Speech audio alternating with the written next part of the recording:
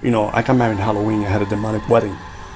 Why would you put your kids, your family, why would you put your purpose, your destiny, why would you put your whole eternity in a demonic altar? So a lot of Christians, um, they think there's nothing wrong with you know celebrating Halloween and all this stuff. You being in, you know, in Satanism and God delivering you from that. What are your thoughts on that? October 31st is like the ultimate day. Um, it, it's like Christians, Easter, and Christmas all rolled in together. People should not participate in any way, shape, or form because you are worshiping the devil. Halloween is celebrated in over 20 countries every year on October the 31st. Although many believe it started as a Catholic holiday known as Hallows Eve, the night before All Souls Day, the truth is Halloween emerged from a Celtic festival called Samhain in Ireland. According to the Druid tradition there, this was an evil night when spirits of all who died the previous year would roam the streets.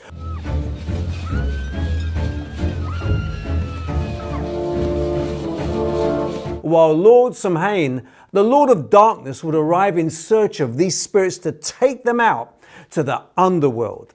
Druids even believed Samhain sent evil spirits abroad to track humans who could only escape by assuming disguises that looked like evil spirits. Hence why people dress up and have all these masks and disguises.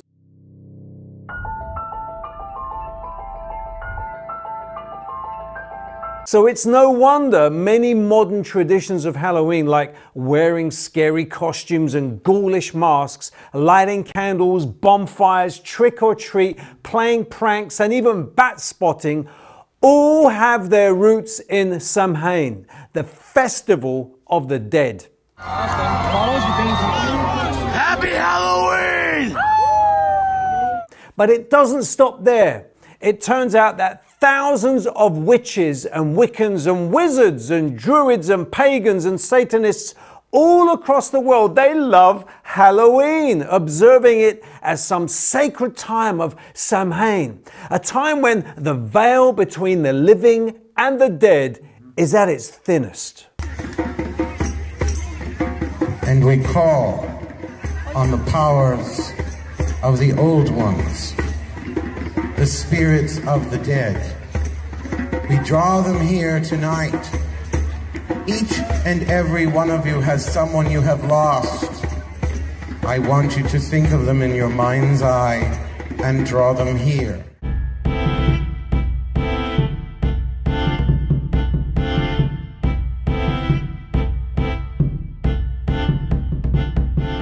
Now, despite all of this, most Christians in America will happily celebrate Halloween on October the 31st. In fact, according to a survey from Lifeway Research, only 8% of pastors, Todd, will want their congregations to skip the holiday altogether, and you might find that shocking as a pastor yourself.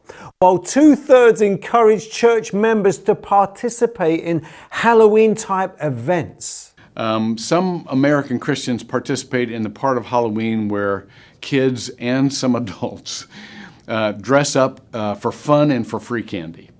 Now, there's no spiritual harm in dressing up as a princess or an angel or a superhero and entertaining your neighbors and eating free candy and drinking cider and all of that kind of stuff. So, Todd, the question I want to ask you is what does God think of Halloween?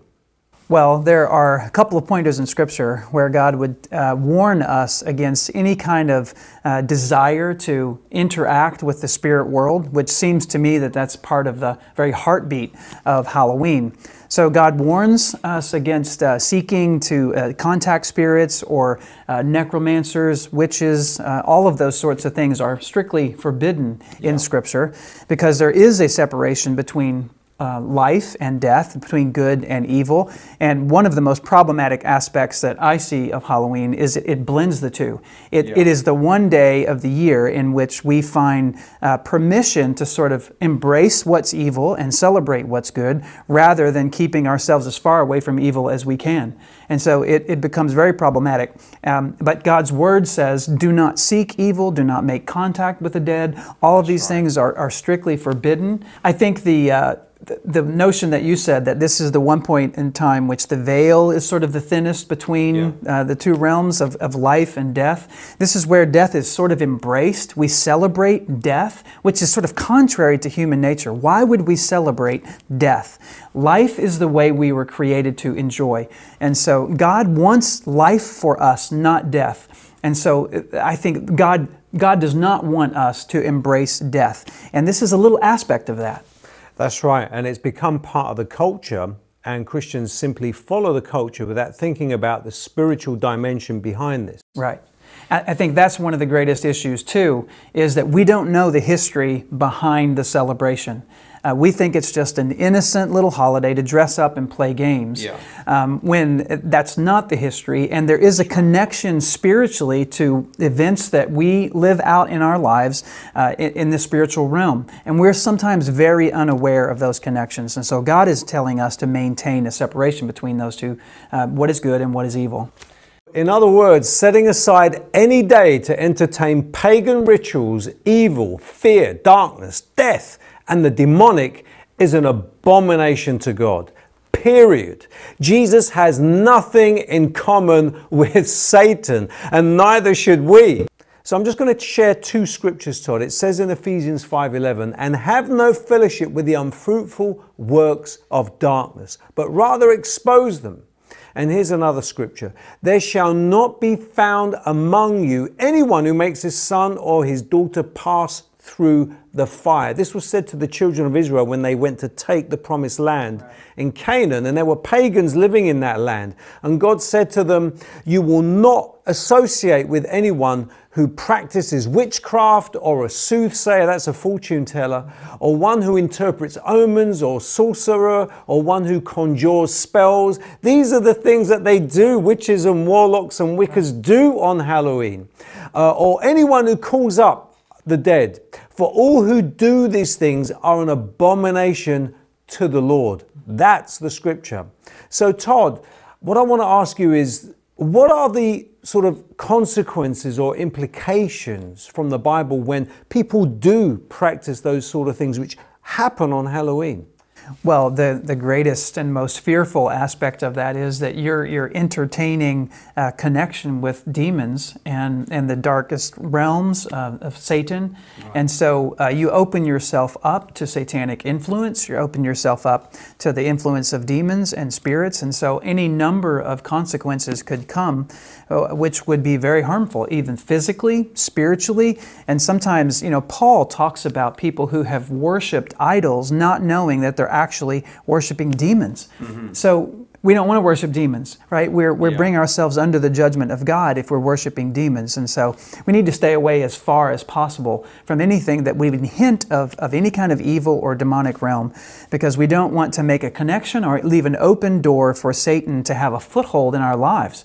As we've seen, Halloween is not some harmless celebration.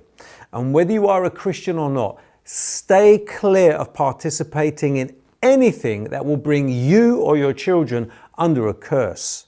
But if you've taken part in Halloween in the past, and I mean most of us all have at some point, there is a way to be free. The Bible says, Whoever calls upon the name of the Lord Jesus will be delivered. And if you ask Jesus to forgive you, He will. So why don't you take the time to do that right now? Just find a quiet place, call upon Jesus from your heart, and He will answer.